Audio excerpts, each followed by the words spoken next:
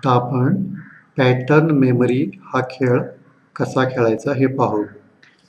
या खेळाचे लिंक ह्या व्हिडिओच्या खाली डिस्क्रिप्शन बॉक्समध्ये दिलेले आहे.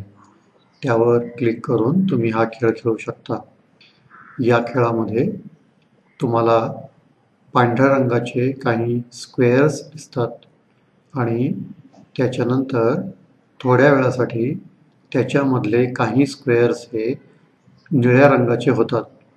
तर निळ्या रंगाचे स्क्वेअर्स हे थोड्या वेळापुरते दाखवले जातात आणि परत ते पांढरे होतात. तर तुम्हाला निळ्या रंगाच्या स्क्वेअर्सचा जो पॅटर्न आहे तो लक्षात ठेवायचा.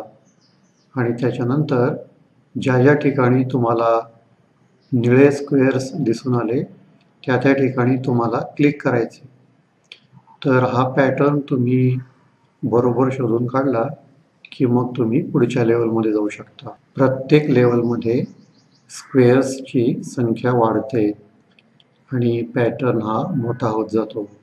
तुमची एकाग्रता म्हणजे तुमचे कॉन्सन्ट्रेशन वाढवण्यासाठी या खेळाचा उपयोग होऊ शकतो.